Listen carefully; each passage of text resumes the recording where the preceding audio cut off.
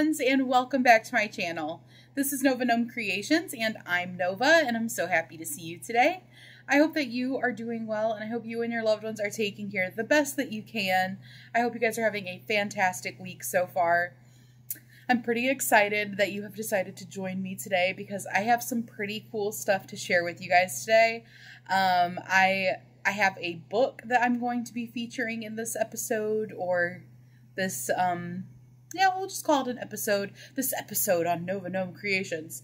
Uh, and I have several things that I have made from this book, and I thought it'd be fun to do just a little um, book feature, I guess. I have shown this book on my channel before, but before we hop into it, I want to welcome you if you are a new Nomi, aka someone who's watching this video, but you've never been here before, I wanted to welcome you to our cozy little corner of YouTube. I hope that you find it to be the comfiest, coziest little corner that you sit down, pull up a seat, grab a project, and hang out for a little while. I hope you guys have something to drink. I have some iced coffee. And if you are not new here, welcome back, my Nomi. I hope you are doing awesome, and I am so happy to see you today. All right, guys, so what book are we going to be looking at today? Well, I've actually done a book look on this book before. It is The Crochet Creatures of Myth and Legend by Megan Lapp, who is the creator of Crafty Intentions. So this book is awesome and I wanted to make something out of it. So uh, I, I was just really feeling it, you know?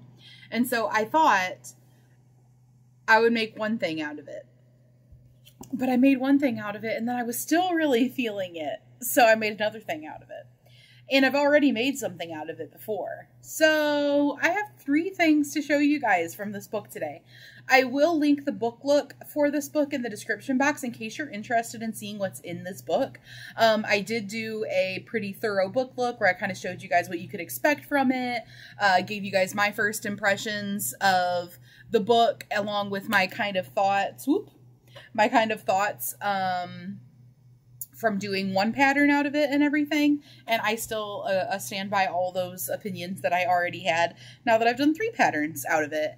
Um, but I will link that down below. And by the way, uh, Megan Lapp actually commented on that video and loved it. So that was pretty exciting. I was uh, not going to lie, I was really geeked out about that.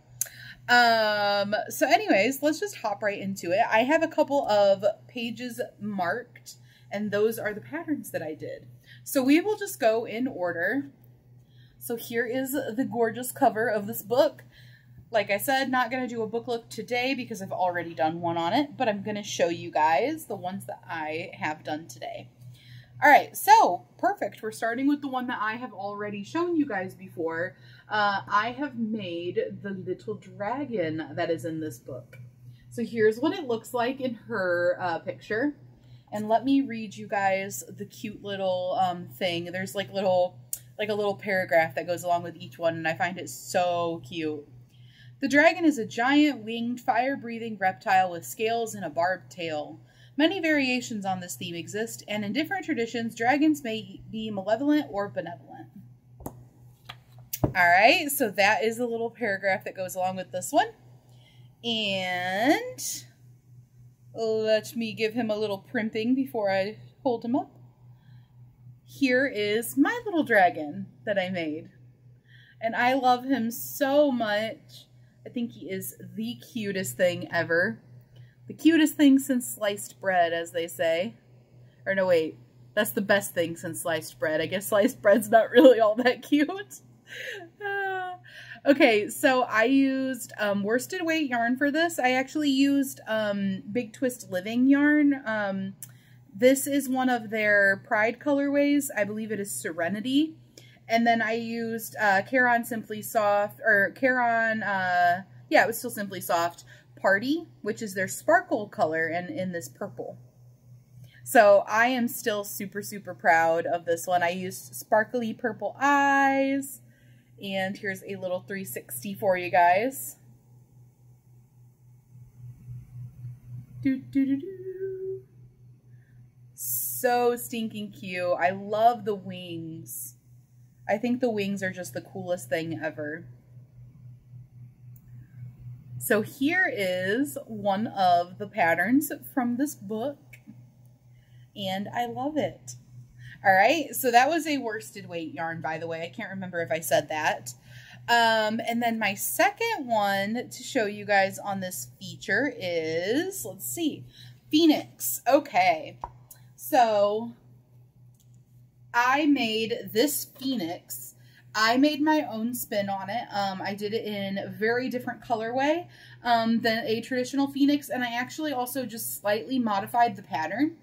But this was a very, very good um, base pattern for a bird, just in general. So if you're ever looking for a really cool bird pattern, I would totally recommend that one.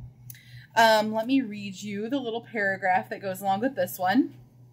The phoenix is a majestic bird that lives for a thousand years in paradise, then leaves to go to the mortal world, where it sings a mournful song that makes the sun god stop, and a spark of the sun fall from the sky to burn the creature up. The phoenix is then reborn in three days from its own ashes and returns to paradise for another thousand years. So, I love the Phoenix. I love the concept of the Phoenix. If you guys ever watched Harry Potter, then you have at least one run in with a Phoenix. If you remember Fawkes the Phoenix, um, and how his tears are healing, they have a healing property to them. And uh, you might remember the scene where Fawkes catches fire and burns up, and from the ashes, the little baby uh, Fawkes is born, is reborn. Very cool scene. Um, so here is my kind of phoenix, a very different kind of take on it. So I've got his head is um, at like a little bit of a, a cockeyed angle, and I think it works so well for it. Kind of gives it like um, a curious baby bird sort of effect. So here is kind of a little um, side view. It's got this big, beautiful tail that when it's sitting, it sits out behind it. Here's the back. And then back around to the front. So um, once again, I used worsted weight yarn for this. I actually used um, the Big Twist Living yarn again in a different Pride colorway. I do not remember the name of this one off top of my head, but it is the pink, blue, and white version. And I actually used Caron Simply Soft Party again and used it for the sparkly silver color. It is a sparkly, um, like the color is silver, but then the metallic strands, let me pull you guys in real close here, are actually rainbow. So I thought that was so perfect. And while I have you guys up close, I'll just show you some of the details. I used um, these pink eyes that have kind of like the sparkly metallic flakes in them that came from that mystery box, that eye mystery box that was gifted to me. Um, you guys may have remembered me doing a little unboxing. So I got this set of eyes in there and I thought it would be perfect for this. Um, and then I did do a little bit of like around the eyes. I did kind of an eyelid sort of thing. That is my first time doing that. And I think it really works for this. I think it, I think it was just the little touch it needed, um, for me using these really big eyes on here. Um, and then the thing that I kind of modified a little bit is the wings. Um, I took this part and extended and added this section right here. Um, so yeah, I just went back and forth a few times. I did like some front loop onlys and single crochets and slip stitches and all this stuff. And I made it really like sturdy on both sides so that the wings stay up. And then I also sewed right down here the bottom of the wings to the body. So I like the way that the wings stay up with that and I sewed my body parts on really tightly. So you'll notice that the legs and stuff are very tightly attached. Like, let me show you the difference between my dragon and my phoenix. So you'll notice in my dragon, I did like really chunky kind of limbs um, because I did not sew them on super tight. Um, so for my phoenix, I sewed them on super tight and it gave it like a more drawn in, um, I don't know, like condensed sort of effect. And I think it works really well for a bird.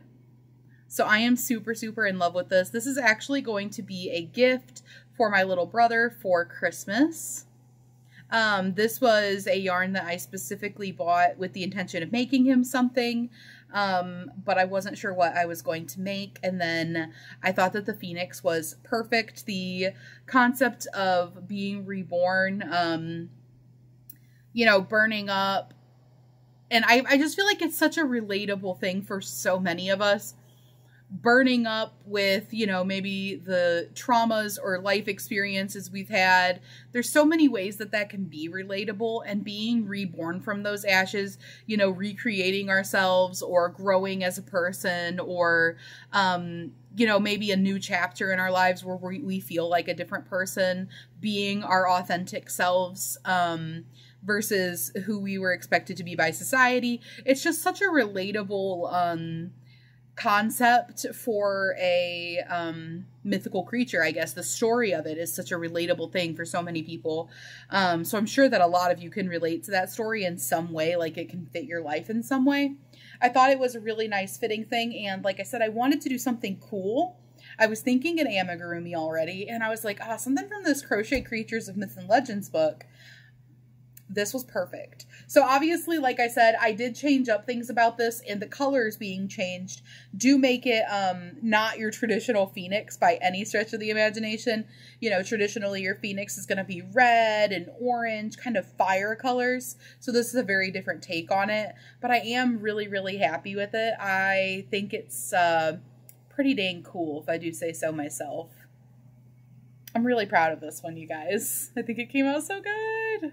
So that is my second make from this book. And let me set that one aside. Now for this third one, I did a couple things a little bit different. Um, okay, so you guys know, I believe, I believe I mentioned that I was making an alicorn. Where did I mention that? I know I mentioned it on Mantha's Make Sam, her live, um, and that might have been the only place. I might have mentioned it in a video. I can't remember. My brain, it's just not working that great. So I think I mentioned this somewhere.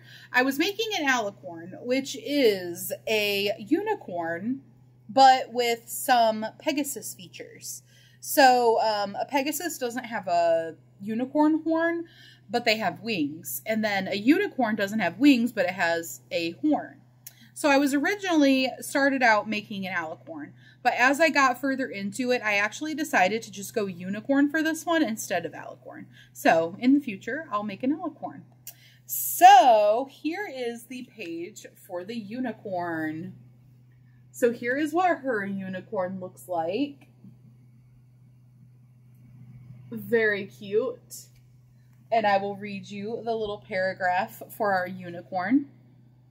The unicorn is a legendary creature depicted in ancient art from many cultures. It is a beast, often a horse or a goat like animal, with a single large pointed spiraling horn on its forehead, which is said to have healing powers. And I will say, guys, by the way, I know that I said I wasn't doing a book look. I did already do a book look, but I just do want to point out that she has the size info really detailed if you do it in worsted weight yarn.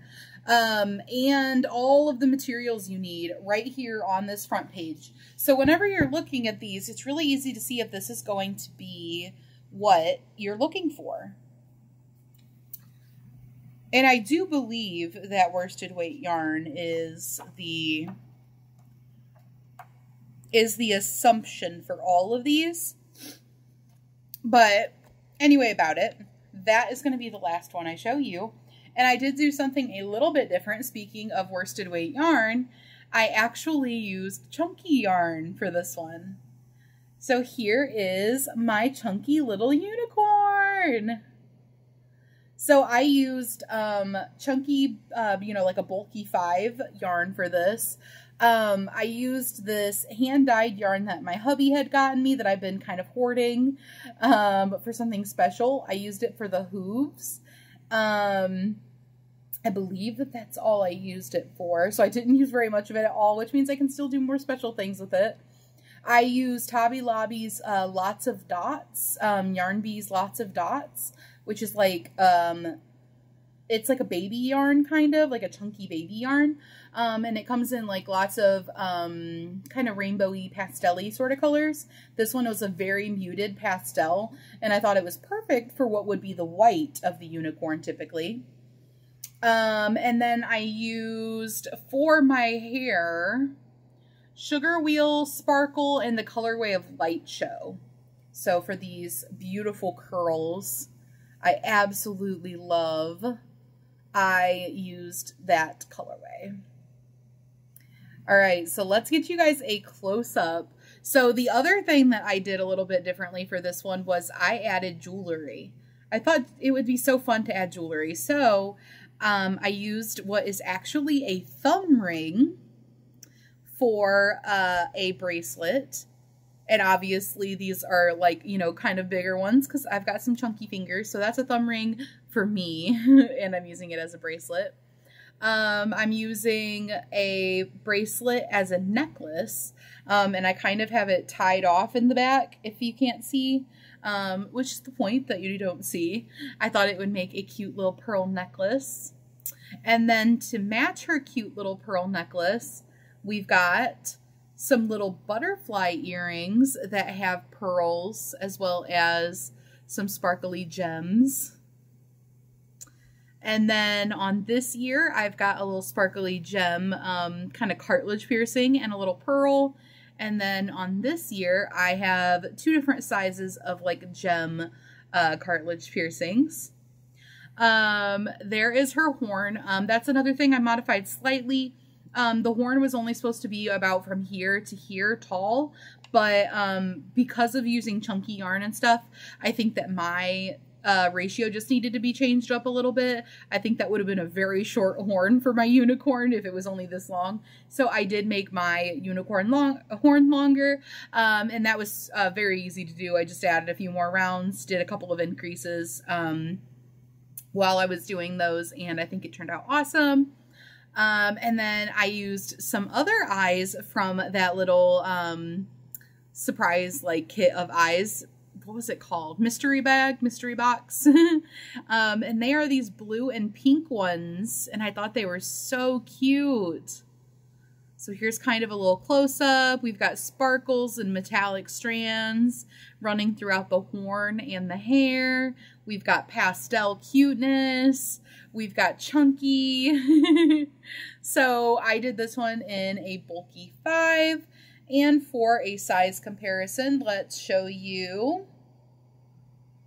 my dragon because I think that they are for very similar kind of body shapes. Um, this is in a worsted weight. And they do have the same leg design. You use kind of the same leg design. Um, well, this one has hooves, so a little bit different. But, you know, general same. So you can see, like, that's a big size difference. So I am super happy with it. If you guys can't tell, I like sparkles. Now let's see if I can somehow hold up all three of these. Maybe I'll do, can I do one of these numbers? Can I have a little um, phoenix on my shoulder? That's the only thing is it's got these wings that stick out where my head goes. Can I do it? There we go. Now this is my picture for my thumbnail. I am super, super happy with these. Um, I really, really loved it. And by the way, these are still posable. Um, these wings are. I like them up like this, but you can totally still, um, with the way that I did this, you can still totally curl them down if you want them to be facing down. Um, or however you want to do it. You know, they are posable, like very, very easily posable. Mm. So I am super, super happy with these. I know I've alluded to um, doing this big like feature where I wanted to do like like a theme, and the theme was this mythical, uh, this creature's crochet creatures of myth and legend. I'm over here like just messing up the name. I've said it a bajillion times. So, of course, I got to mess it up a bunch now. Speaking of messing up things a bunch, you guys should have heard me trying to start my video yesterday for the Toadstool Tuesday uh, tutorial. I literally have about 30 seconds of me starting over like four times because I kept uh, jumbling up the name of the name of the video. It's pretty funny. Maybe I'll insert that at the end um, of this video just so you guys can have a little laugh. But anyway, guys, I hope you guys are all doing great. I hope that you guys have enjoyed this little feature episode. You guys will have to let me know what you think of this kind of a video. Maybe I can do more of them in the future. Um, obviously, it takes some time. You know, I kind of have, I always have a lot of projects going, so I kind of have to work on it, you know, in the background a little bit and then do like a big reveal. Um, or I guess I could show you guys as I go and then still do a big video about it. Um, which might be a little bit more sustainable of a way of doing it. Um, but I love it. I've got my little like audience here, my unicorn, phoenix, and dragon. But the phoenix won't be staying with me, as adorable as it is. I think I might have to make myself a phoenix too. Um, but the phoenix is going to be a Christmas present, and I think it's going to be a really, really loved Christmas present. It's so cute. I love the way that its head is like cocked. I don't know if the way I was holding it up really gave you guys the full effect, but when you're looking at it, like you kind of are looking at it from like a, this kind of an angle. And it just has this baby bird kind of effect to it. Like, hmm? it's so cute. Eh. Anyways, guys, I won't keep you with any more of my, or any more of your time, any more of my time. Um, I will insert any like progress pictures, things I took during the process, things like that. I don't remember what all I took during the process, but any of that stuff I will insert so that you guys can kind of see the growth of it. Um, and you guys will definitely, definitely have to let me know what you guys thought of this video down in the comments below. But anyway, about it, I highly recommend checking out this book. And she does have a new book, which I have not yet gotten my hands on, but it looks super cute. It is the Crochet Impkins book. So um, if you like Megan Lapp or Crafty Intentions, which is her uh, like Etsy and stuff like that, um, there is another book and it looks just as cute and just as like mythical and whimsical and like fantasy vibes. Um, 10 out of 10 recommend. I love the way that she writes this book. If you're more interested in that though, like I said, I'm not going to keep you with the book look side of things because I have done an in-depth book look, but I am uh if you're interested in this book, I highly recommend you look at my book look because she writes this book different than any other crochet book that I have. And I have quite a few at this point. So I totally recommend that if you are interested. Anyways, guys, I'm going to let you go and I will see you guys tomorrow. I hope you guys have a fantastic rest of your day and say stay Nomi. Did you remember what this pink hat was supposed to remind you of? Get those boobies checked. Don't forget to get your mammograms. Hello and welcome back to Toadstool Tuesday. Hello and welcome back to my channel. This is Nova Gnome Creations and this is our Tuesday Tuesday Hello and welcome back. This is Nova Gnome Creations and I'm Nova and today is our second segment of our Toadstool